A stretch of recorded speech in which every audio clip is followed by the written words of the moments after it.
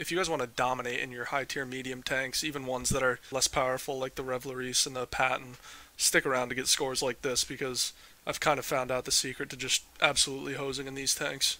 Hey guys, um, just so many good things about this replay, so why don't we just get into it. This is going to give you a good idea of how to play just games and underpowered tanks in situations that look poor, so let's get right into it.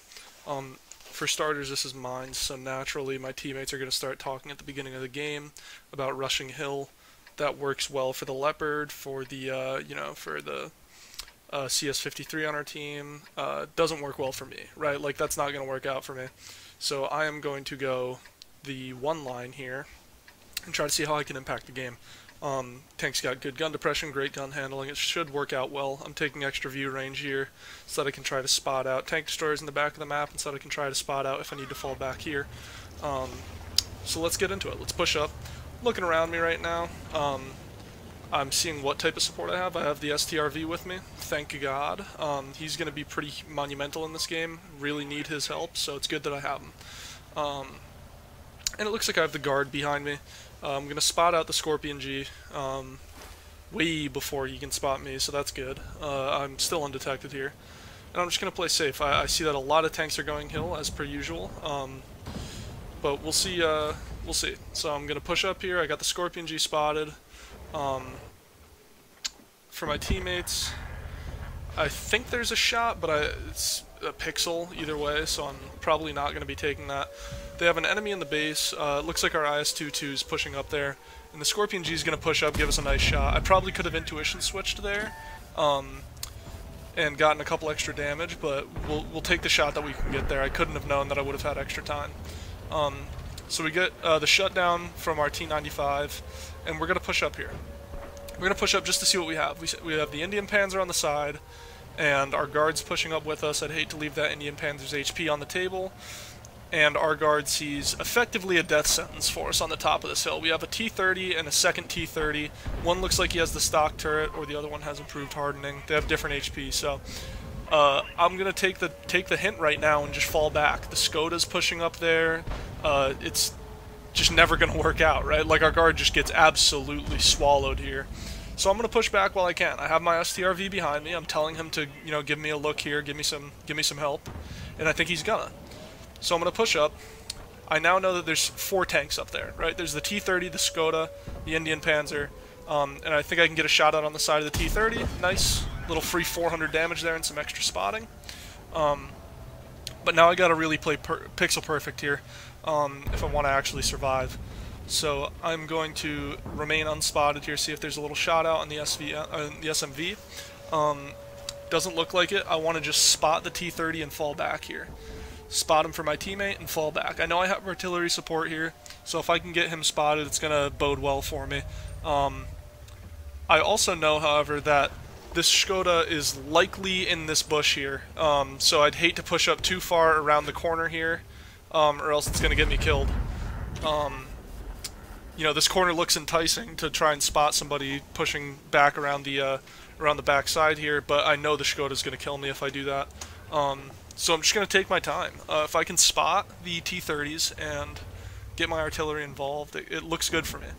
So I'm going to look out just a little bit, and I'm going to sixth sense spot that bush. So I know now that the Skoda is in that bush because my sixth sense, uh, sixth sense lit off. I'm going to ping the bush and tell my STRV and my T-103 blind fire the bush, and let's see what happens.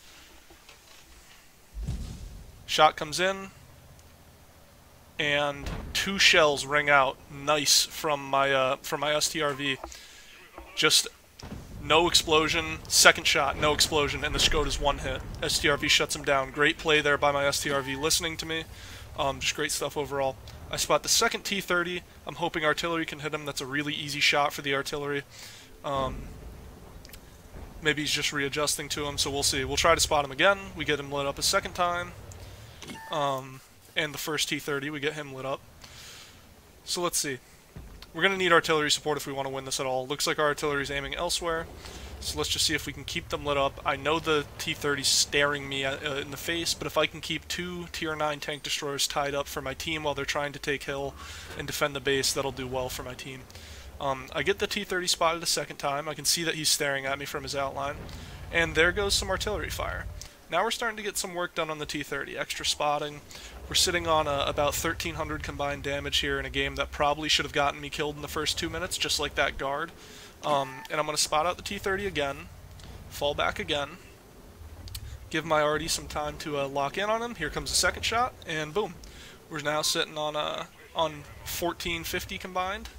Uh, nice little 200 damage every time I'm spotting, spotting that T30, and I'm gonna assume that the T30 is uh, is not gonna continue holding that position. Uh, after 400 damage from the artillery, I think that's probably a pretty bad idea for the kid to do. Um, now I think the T30 is falling back, so let's see. We have one T30 behind the rock here. He's no threat to the uh, to the valley, and we have a second T30 who's probably falling back. So I'm thinking about taking this bush soon and seeing what I can do, uh, spotting some retreating tanks going back across this side here. Um, I no longer spot that T-30 in that spot, so I know he's fallen back. So let me see if I can push out and find uh, and find a shot on retreating tanks across the valley.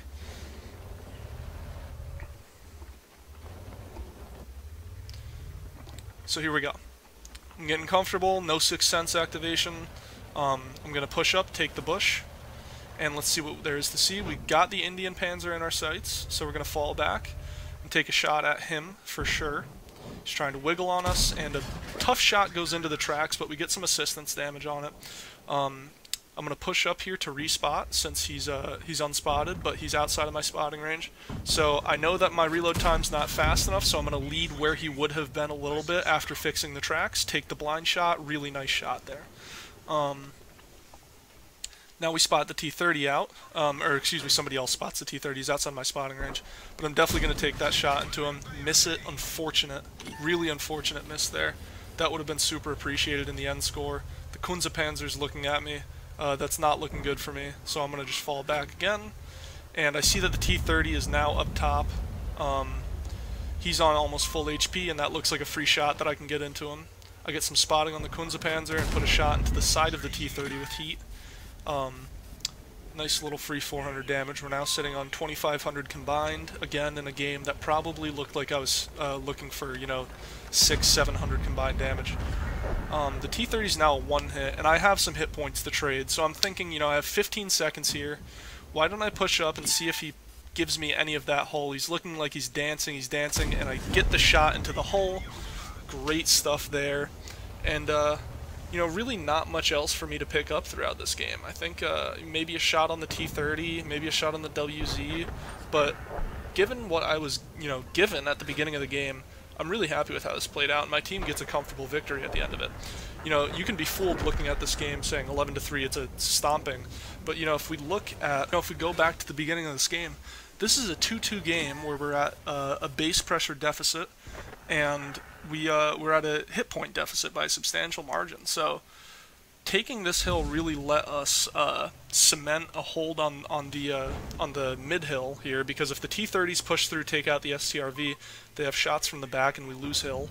Um, holding this flank really allowed our team to get a win here, and that's part of the reason why I'm sitting on you know close to a 60, 60 plus percent win ratio right now, is because you just have to think about how you can impact the game and stay alive throughout the uh, throughout the next 15 minutes if you can think about just impacting the game and staying alive for as long as you can, keeping your gun, keeping your vision in the game, you're going to be able to dominate uh, most of your matchups and win the vast majority of your games.